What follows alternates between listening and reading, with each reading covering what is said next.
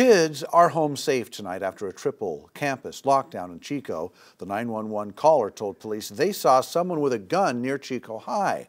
Well, police locked down that campus as well as Chico Junior High and Citrus Elementary. Police say they learned the report might be unfounded, but continued their response to check the area. Officers determined that it indeed was unfounded. There was no armed person with a gun, and they lifted all the lockdowns. Despite it being a false alarm, with all those recent mass shootings, it all gave parents a scare today. Ryan Ketchum has more. Actually, when I dropped him off this morning, it was right here. And as he was getting out of the car, um, I was afraid. Sometimes that happens, but after this week, it definitely ha happened yesterday and today. Rachel Newkirk says she just tried to stay calm and prayed when she heard Chico High was on lockdown. She says hearing all the heartbreaking news of the mass shootings really affected her.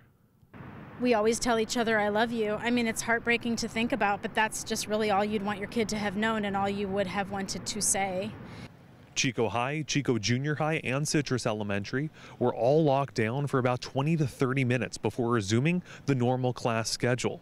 But students were shaken up. Kind of scary because, like, we were in the same class, but we weren't, and we didn't know like where she was, so it's kind of scary. So I just like, like right now, I feel really unsafe being at school.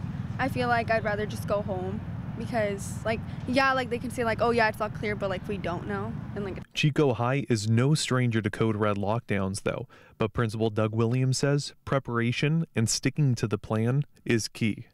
So I've been in lots of these situations, unfortunately, as a principal at Chico High and at other high schools. And what you have to do originally is what's going to make us safe right now?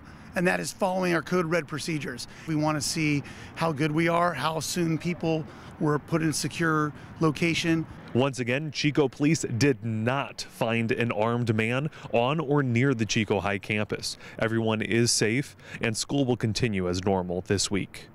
Reporting in Chico, I'm Ryan Ketchum. Action News Now, coverage you can count on. Chico High parents tell Action News Now they received a text message from the district during the lockdown and were told not to contact the school and to stay away.